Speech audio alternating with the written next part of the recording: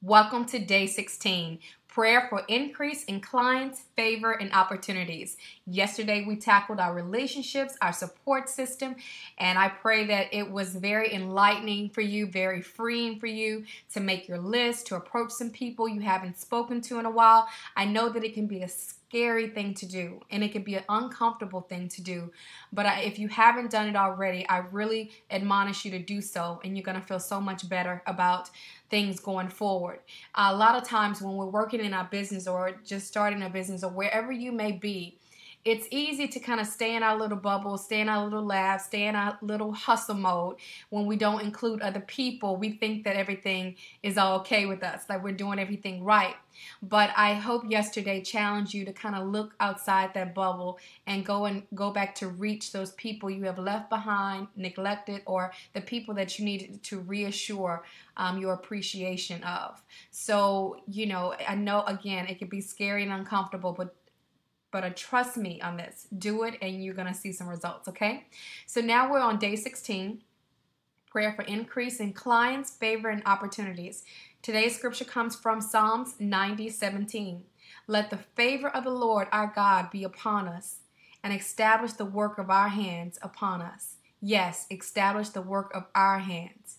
Again, let the favor of the Lord be upon us and establish the work of our hands upon us. Yes, establish the work of our hands.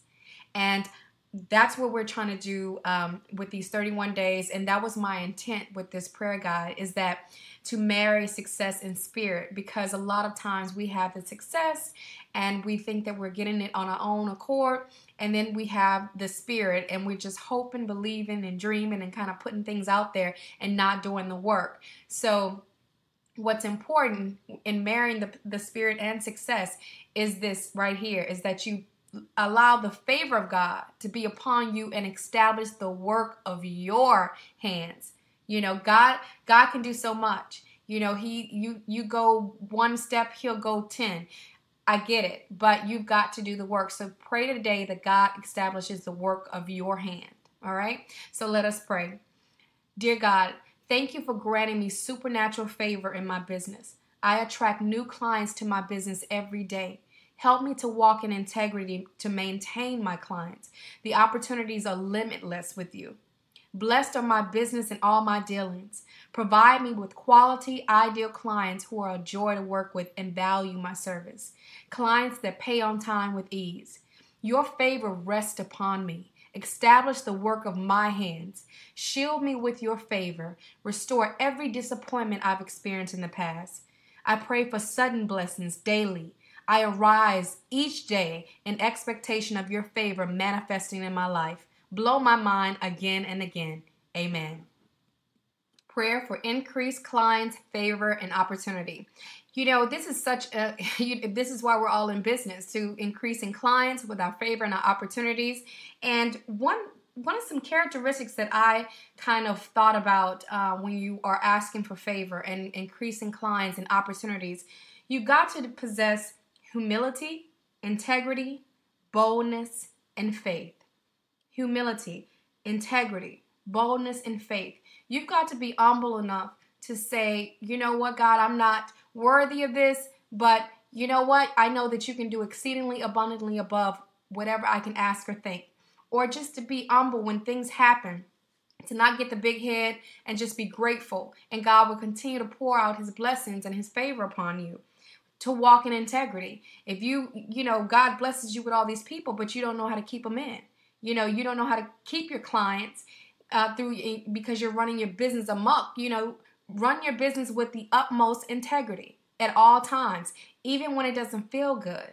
That's what being a boss is, is that you have to sometimes have uncomfortable conversations, but walk in integrity at all times.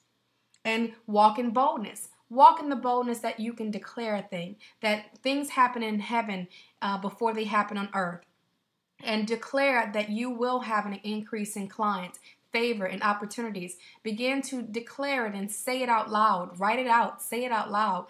Just like with the morning prayer, evening prayer. Start saying your declarations of what you expect in your business and have the boldness and most importantly, the faith. Don't just say something and then don't have the faith behind it. Just say, you know what, I'm just saying this thing And it's not, it's not going to work that way. You got to actually believe it deep down that God is is is here for you. That the the scripture says that he will not withhold any good thing from those who, who, who walk upright. He won't withhold anything. And sometimes we think that we're uh, God is not moving. Yeah, He's always moving. Are you moving? That's the question. Are you doing and are you moving? Are you opening up an opportunity for favor and blessings and opportunities to come in? Are you walking in integrity? Are you walking in humility? That's what I want you guys to ask yourself today in Ecclesiastic 9 and 11, and this is the Amplified Version, it says, I returned and saw under the sun that the race is not given to the swift, nor the battle to the strong, neither is the bread to the wise, nor riches to men of intelligence and understanding, nor favor to men of skill, but time and chance happen to them all. Have you ever watched someone and you see them prospering, you see them uh, going forward, you see God just blessing them at every turn. First of all, you may see the glory, but you don't know the story. You don't know the backstory. But again, we're not comparing ourselves to other people. But this scripture reminds you that just wait your turn. Wait your turn. That the race is not given to the swift. It's not given to the one that it gives. It, it's given to the one that endures it all in, in short version. You know, you may not be the smartest or the most intelligent, but the favor of God is so much more powerful than knowledge, skill, or anything else. The favor of God. So that's what I want you guys to really zone in on is that you have that favor of God available to you. And you can ask for the increase in your clients and your business and your opportunities, that God blesses you with things that you never could imagine we have such an advantage with social media to reach out to, to celebrities and to high profile people, people to kind of push our brand over the knowledge. But again, develop relationships and don't ask for things not, um, you know, developing that relationship. But you know what? You never know what God can do. Don't limit God. If you don't get anything out of today, don't put limits on God with your own, you know, kind of limited ability and thinking and creativity. Allow the favor of God to rest on you in your business, in your life. And work on declaring things. I declare things all the time. I'll be looking at a stack of something or books or products and I'll say, you know what, God, I want to sell all of that tonight.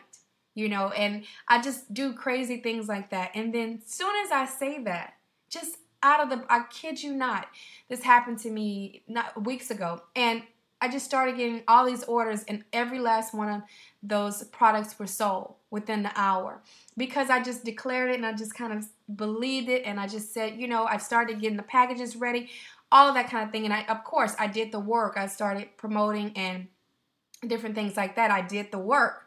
Key word there. I did, I asked God to bless the work of my hands. I didn't just say this out of the blue, which that works sometimes as well, but do the work, right? So, but you know, God's anger, and, and some of you may think that you don't deserve the blessings of God and, and, and different things like that. But as we've been taking this journey, you're forgiving yourself, right? You're forgiving yourself of things and you're starting to have a better outlook on yourself.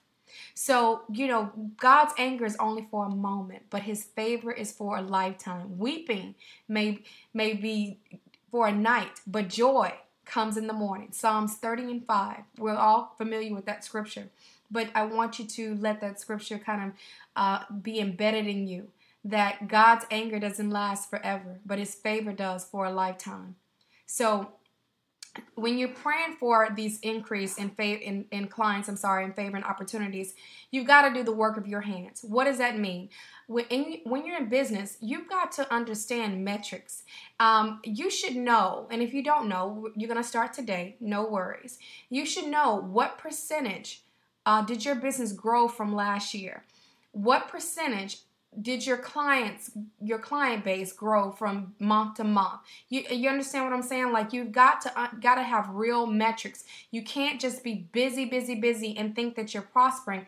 You've got to have some real metrics in place so you can see if you're really profiting with your business or not having an expensive hobby right? An expensive hobby that makes you tired and away from your family. So with that, I'm gonna t- I'm gonna share with you a couple of things that I do.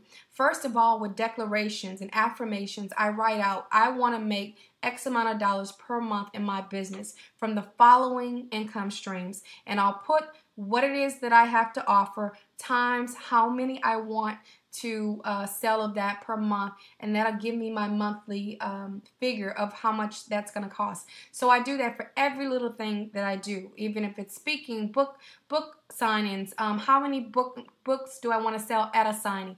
How much do I want to um, you know, how many books do I want to sell? How many t-shirts I want to sell? How many coaching sessions I want to sell? How many coaching clients do I want to add? Just giving you an example. I have a number in mind. So if you have these numbers in mind, your metrics in mind, then that drives your your marketing because you continue to market until you've met your metrics.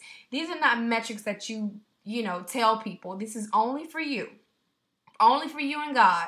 You don't say, hey, I, I get 10 clients today and I'm at eight. I mean, come on. Like, just keep it between you and God and on paper. You know, I have it posted on my printer, my mirror, my bathroom, and my refrigerator. So that's just my thing. That that helps me and it just helps me to kind of keep focus and declare a thing to see where I am you know, to say, you know, from this month to this month, percentage wise, I've grown this way. So today, I want you guys to write down every single thing that you offer. If you do hair, you know, just just say if you're you own a hair salon, you have your clients that rent a booth, you have um, your clients that you do their hair. It could be uh, extra services tacked on to that. How many of those?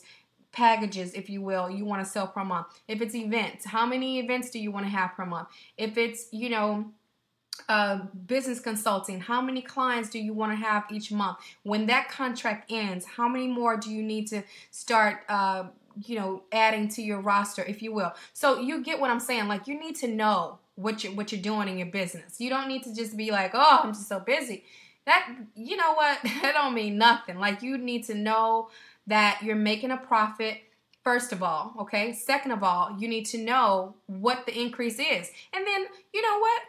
Third of all, you need to know what you're praising God for. That I had a you know 33% increase in clients. Thank you, God. I declared it, and this is what I'm believing God for. This is the opportunities I'm believing in for. So just actually know what favor really looks like in your business.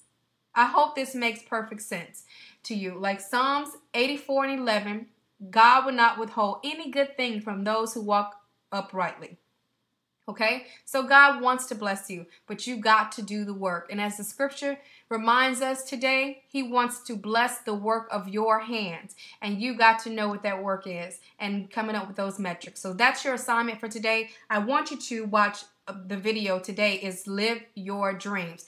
I know that we've covered Live Your Dreams, we've covered the subject and all that, but as we kind of go into this um, business uh, strategy and metrics, I want you to remind yourself of your dreams and why you're doing this in the first place. So definitely take a look at that video today, Live Your Dreams, and pray for increased clients, favor, and opportunities.